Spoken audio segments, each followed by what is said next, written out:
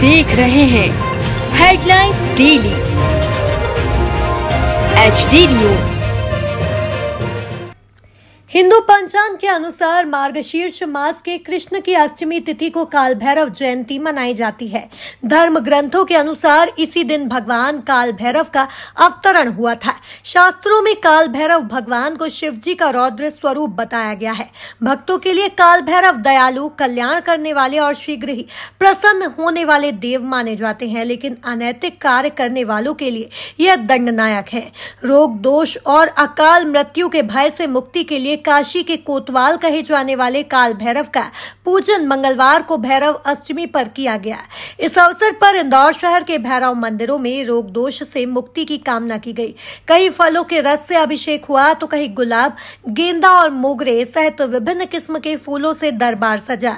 भक्तों ने भैरव बाबा को श्रीफल अर्पित कर इमरती का भोग लगाया। कई जगह छप्पन भोग भी अर्पित किए गए तो कहीं पर छप्पन प्रकार के विदेशी मदिराओं का भोग भी लगाया गया। इंदौर के किला मैदान रोड स्थित प्राचीन मंशापूर्ण काल भैरव मंदिर में अष्टमी पर अष्ट प्रहर की आठ आरती की गई। पहली आरती सुबह पाँच बजे और आखिरी आरती रात बारह बजे शयन आरती के रूप में की गई। शाम सात बजे महाआरती में सैकड़ों भक्तों के साथ पुलिस बैंक भी शामिल हुआ। पुलिस बैंक की आकर्षक प्रस्तुति को भक्तों ने काफ़ी सराहा। आयोजन समिति के नलेश गोयल ने बताया कि सुबह भगवान का श्रृंगार कर फूल बंगले में विराजित किया गया। भक्तों ने हवन भी किया। इस दौरान 800 किलो मिठाई का भोग लगाया गया जिसे भक्तों में बांटा गया।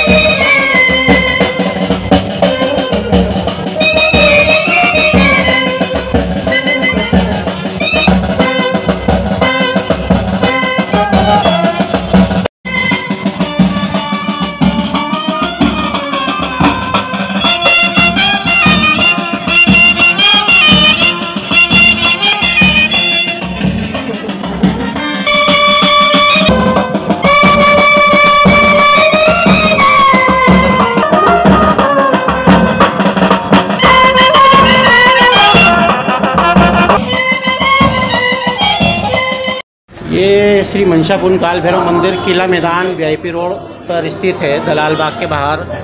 और ये मंदिर काफ़ी प्राचीन है। ये मंदिर श्री मनशापुन काल भैरव के नाम से प्रसिद्ध है। नाम के अनुरूप यहाँ पे बाबा मनशापुन काल भैरव सबकी मनोकामना पूरी करते हैं, जो भी अपनी मन में मनसा लेके आते हैं।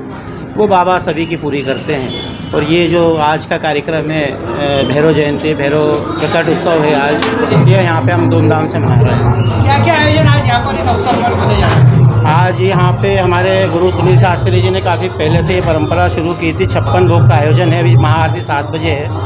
और सुबह से अष्टपहर की आठ आरतियाँ सुबह पाँच बजे से लेकर रात में बारह बजे शयन आरती तक अभी हो चुकी है। अभी अब सिर्फ़ छप्पन भोग और महाआरती का आयोजन है। उसके बाद पुलिस बैंड अपना ध्वनिया प्रस्तुत करने आएगा यहाँ है हाँ भजन संध्या पुलिस बैंड जो आता है वो भजन पुलिस बैंड द्वारा ही होता है।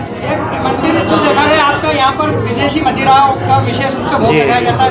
क्या कहना चाहेंगे कितनी तरह की विदेशी शराब का यहाँ पर भगवान ये यहाँ पे जैसे प्रचलन है छप्पन भोग लगाने का तो बाबा को मदिरा का भोग पसंद है।